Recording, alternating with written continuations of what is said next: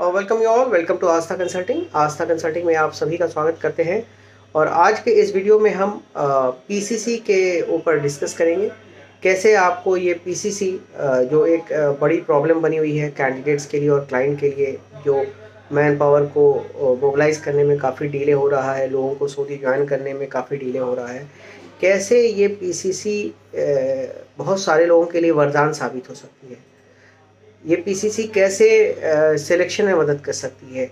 ये पीसीसी आपको नई अपॉर्चुनिटी दिलाने में सऊदी में कैसे आपके लिए मददगार साबित हो सकती है? तो जो अभिश्राप जो लग रहा है, वो अभिश्राप वरदान में कैसे बदल सकता है? इसके बारे में हम आपको पूरी डिटेल बताएँगे। तो इस वीडियो को शुरू शुरू करने से पहले आप सबसे रिक्वेस्ट है कि आप आसान कंसल्टिंग के यूट्यूब चैनल को ज़्यादा से ज़्यादा लाइक करें सब्सक्राइब करें कमेंट करके बताएँ, ये वीडियो कैसे लगा और आने वाले वीडियोज़ में किस टॉपिक के ऊपर सुनना पसंद करेंगे। सो लेट्स बिगिन जैसा कि मैंने वीडियो के शुरू में कहा कि ये जो हमारा वीडियो है, आज का इसमें हम पीसी से related information PCC police claim certificate से रिलेटेड इन्फॉर्मेशन शेयर करेंगे पीसीसी अगर आप करा लेते हैं, बहुत सारी कंपनियाँ सऊदी की स्ट्रगल कर रही हैं, बहुत सारे कैंडिडेट स्ट्रगल कर रहे हैं कि इनका सिलेक्शन हो गया है, जिन्होंने ऑफ़र दे दिया है बट वो बंदे नहीं ज्वाइन कर पा रहे हैं बिकॉज़ ऑफ़ पीसीसी में काफ़ी टाइम लग रहा है, एक महीने से तीन महीने कुछ भी लग रहा है। तो मैं ये कहना चाहता हूँ कि अगर आप पहली बार सऊदी जा रहे हैं या नए वीज़े पे जाना चाहते हैं, ठीक है?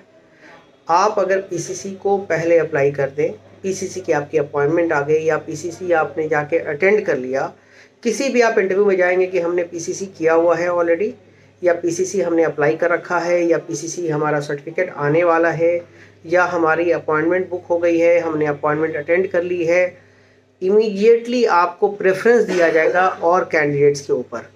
अगर आपसे बेहतर कैंडिडेट भी है जिसने पीसीसी के लिए ना अप्लाई किया है, ना उसकी कोई डेट अटेंड की है, वो नो मैटर वो थोड़ा स्ट्रांग भी होगा, वो आपको प्रायोरिटी देंगे और आपके सिलेक्शन के चांसेस बहुत अच्छे रहेंगे। इन सारे कैंडिडेट जो जूनियर कैंडिडेट्स हैं जिनका एक्सपीरियंस कम है, जिनकी थोड़ा सा कोई कैटेगरी इंग्लिश की कम्युनिकेशन कर, उनके लिए तो ये बहुत वरदान है कि ये उनके लिए जो कमी होगी, उसको ये पूरा कर देगा पीसीसी बिकॉज़ अगर आप पीसीसी नहीं किए हैं, बहुत अच्छे कैंडिडेट तब भी हम आपको मोबिलाइज नहीं कर सकते आप उस फल की तरह हैं कि दिखने में तो बहुत अच्छा है लेकिन उसको हम खा नहीं सकते हैं।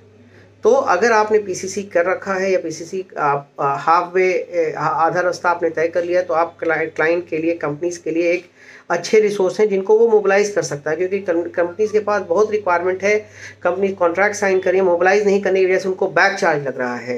तो कंपनी परेशान है कि कैसे बंदे को मोबिलाइज किया जाए कैंडिडेट परेशान है कि कैसे हम ज्वाइन करें ताकि मेरी सैलरी सो इन दोनों को ये के लिए बेस्ट सॉल्यूशन है कि सारे वो कैंडिडेट जो सऊदी जाना चाहते हैं, जो गल्फ जाना चाहते हैं सऊदी स्पेशली वो पीसीसी को इमीडिएटली अप्लाई करें, चाहे उनका सिलेक्शन हुआ हो या नहीं हुआ हो, उन्होंने भी जस्ट दिमाग में अगर आपके आया है कि आपने सऊदी जाना है जॉब पे तो आप पीसीसी अप्लाई करते हैं।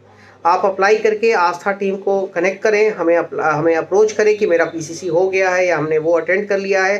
कोई भी पोजीशन हो, हम आपको प्लेस करने में पूरी पूरी मदद करेंगे। हमारे पास बहुत सारी रिक्वायरमेंट है, बहुत सारे क्लाइंट की रिक्वायरमेंट है, बहुत सारी पोजीशंस है, लेकिन हम मोबिलाइज इसलिए नहीं कर पा रहे कि लोगों के पास पीसीसी नहीं है। पीसीसी अप्लाई करने जा रहे हैं, एक महीने से तीन तीन महीने का वक्त लग रहा है। पीसीसी को कैसे स्पीड अप करें, इसके हवाले से भी मैंने वीडियो बनाया है। अगर आप पीसीसी को जल्दी करना चाहते हैं तो आप हमें कनेक्ट करें। हम पीसीसी में भी आपको जल्दी करने में जो टिप्स है, वो आपके साथ शेयर करेंगे और आपकी पूरी पूरी मदद करें। उम्मीद है ये वीडियो पसंद आया होगा। तो अगर पसंद आया तो लाइक सब्सक्राइब कमेंट करें। तब तक के लिए जय हिंद।